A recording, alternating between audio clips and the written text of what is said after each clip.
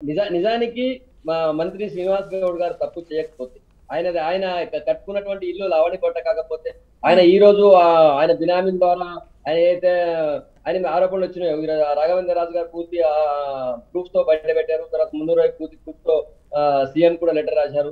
So ఇవన్నీ కావు అనుకున్నట్టయితే బయటకు వచ్చి మాట్లాడారు రాఘవేంద్ర రాజు గారు పెట్టిన అన్ని ప్రూఫ్స్ తప్పని చెప్పాలి సీఎం చేసిన కంప్లైంట్ పూర్తి తప్పని చెప్పాలి తాను పాలీ హౌస్ కట్టుకున్నా అని చెప్పి పాలీ హౌస్ ఫోటో రిలీజ్ చేయాలి ఆయన ఇంట్లో ఆయన ఇంట్లో లేడు పాలీ హౌస్ అని చెప్పి నిరూపించాలి.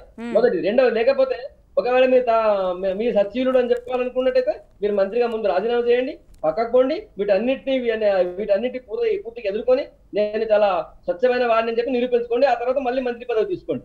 ఒకవేళ ముఖ్యమంత్రి గారే చెప్పారు తప్పు చేసిన వారు ఎంతటి వాడైనా వదలము తప్పు చేస్తే మీరు ఆయనని ఆ, ఏది ఈటల రాజు విషయంలో చెప్పారు. ఈటల రాజు గారు నా కొడుకైనా నా బిడ్డనైనా సరే వదలను అని కూడా చెప్పారు ఇంకా గతంలో.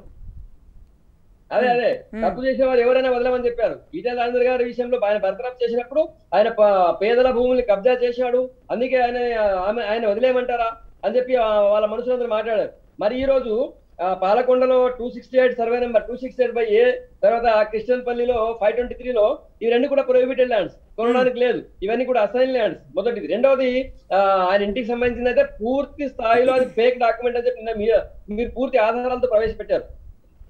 ఎందుకంటే నైన్టీన్ సిక్స్టీ ఫైవ్లో ఆ- ఏది నేను పాలకొండ ఆయన ఇంటి గురించి చెప్తున్నాను. నైన్టీన్ సిక్స్టీ ఫైవ్లో ఎవరో ఒక వాహిదైనటువంటి వ్యక్తి ఎవరు ఎక్స్ సర్వీస్ అని చెప్పి తీసుకున్నారని అన్నారు మరి అవును సెవెంటీ ఫైవ్లో ఆయన. మెన్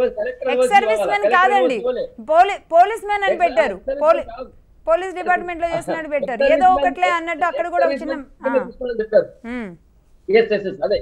అయితే నేను ఏమంటా అంటే ఒక ఇప్పటికైనా మా మంత్రి శ్రీనివాస్ గౌడ్ గారు రాజు న్యూస్ లైవ్లోకి రావాలి. ఆయన. పూర్తి వివరాలు ఆయనకు దీనికి సంబంధించిన ఆరోపణలన్నింటికీ సమాధానం చెప్పాలి.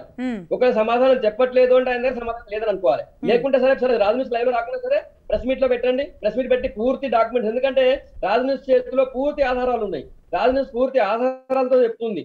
మరి అట్లా అనుకున్నప్పుడు మీరు ప్రెస్ మీట్ పెట్టి ఈ ఆధారాలని తప్పు నేను కొన్నది ప్రొహిబిటెడ్ అని కాదు నేను ఉన్నది ఎక్స్ సర్వీస్ మెన్ ఇంట్లో కాదు అని చెప్పి చెప్పాలి.